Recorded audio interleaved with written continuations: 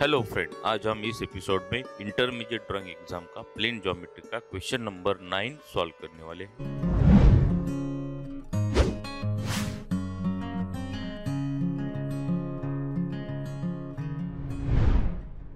आज का यह क्वेश्चन इंग्लिश और हिंदी लैंग्वेज में एक्सप्लेन होगा। आपको ड्राइंग एग्ज़ाम गाइड इस चैनल को सब्सक्राइब करना है। पास वाले बेल आइकॉन को ऑल क्लिक करना है। वीडियो समझ में आया। और अच्छा लगा तो लाइक और शेयर भी करना है।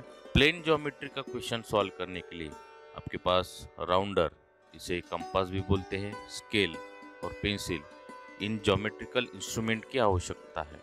आज हम इंग्लिश हिंदी और मराठी लैंग्वेज में क्वेश्चन पढ़ेंगे। आपको स्क्रीन पर क्वेश्चन दिखाई दे रहा है, उसका अच्छी तरह से ऑब्जर्वेशन करना है और उसे समझ लेना है। English question section fifth construction of quadrilaterals example to construct a rhombus, its two diagonals being given question construct a rhombus with the two diagonal being 9 cm and 7.3 cm long Hindi प्रश्न विभाग पांचवा चतुर्भुज रचना उदाहरण दोनों विकर्ण दिए गए हुए एक चतुर्भुज बनाना है। प्रश्न 9 सेंटीमीटर और 7.3 सेंटीमीटर लंबाई वाले विकर्ण का समचतुर्भुज बनाइए। मराठी प्रश्न 9 सेंटीमीटर व 7.3 सेंटीमीटर लांबीचे कर्ण असणारा समभुज चौकोन काढा।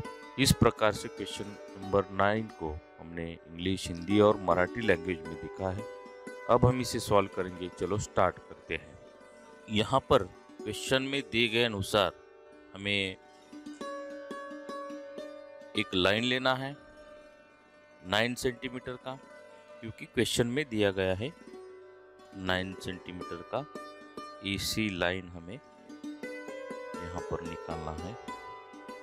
इसे नाम देना है ए सी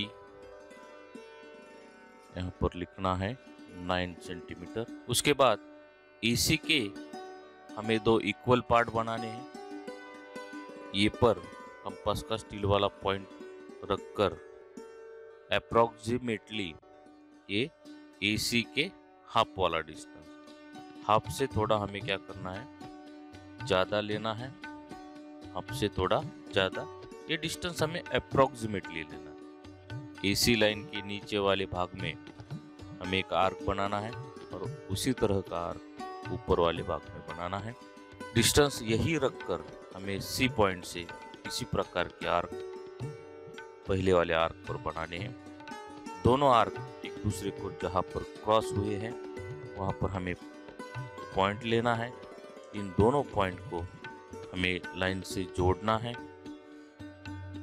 इस प्रकार से इसी लाइन पर बच्चों, हमने एक क्या निकाला है? इसका लंब दुभाजक इसे परपेंडिकुलर भी बोलते हैं। इस तरफ़ परपेंडिकुलर निकालने के बाद, इस परपेंडिकुलर ने इसी लाइन को यहाँ पर क्रॉस किया है, यहाँ पर पॉइंट लेना है। ओ, अब हमें कंपास में जो दूसरा वाला जो लाइन है, इसका हमें डिस्टेंस दिया गया है 7.3 सेंटीमीटर वो डिस्टेंस कंपास में लेना है सेवन और ये 3.83 मिलीमीटर और इस डिस्टेंस का हमें यहाँ पर एक लाइन निकालना है। कंपास का स्टील वाला पॉइंट वो इस पॉइंट पर रखना है और यहाँ पर हमें एक आर्क बनाना है। इस कंपास में हमने जो रेडियस लिया है डिस्टेंस लिया है, वो कितना लिया है? तो 7.3 सेंटीमीटर लिया है। यहाँ पर इस आर्क ने इस परपेंडिकुलर को यहाँ पर क्रॉस किया है। इसे नाम देना है। इस पॉइंट को नाम देना है। यम। अब हमें ओ यम इस लाइन को दुभागना है, यानी कि इसके दो पार्ट इक्वल पार्ट बनाना है। ओ एम लाइन के अप्रोक्सीमेटली ये डिस्टेंस हो गया। हाफ़ हाफ़ से थोड़ा हमें क्या करना है? ज़्यादा लेकर लेफ़्ट साइड को एक आर्क बनाना है और राइट साइड को एक आर्क बनाना है। डिस्टेंस को चेंज नहीं करना है और यही डिस्टेंस से हमें इस आर्क पर। और आर्क बनाने हैं तो यहाँ पर दोनों आर्क ने क्रॉस किया है। जहाँ क्रॉस हुआ है, वहाँ हमें पॉइंट लेना है, यहाँ पर एक पॉइंट हमें मिला है। इन दोनों पॉइंट को लाइन से जोड़ना है, इस प्रकार से। इस लाइन ने, इस ओएम लाइन को यहाँ पर क्रॉस किया है।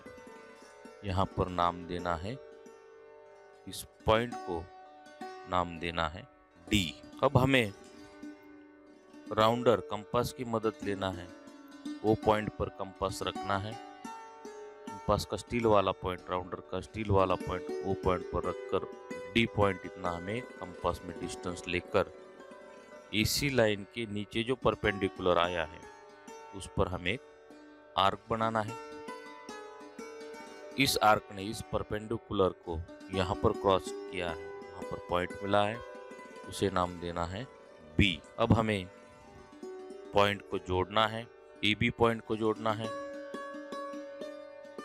उसके बाद बी सी पॉइंट को जोड़ना है,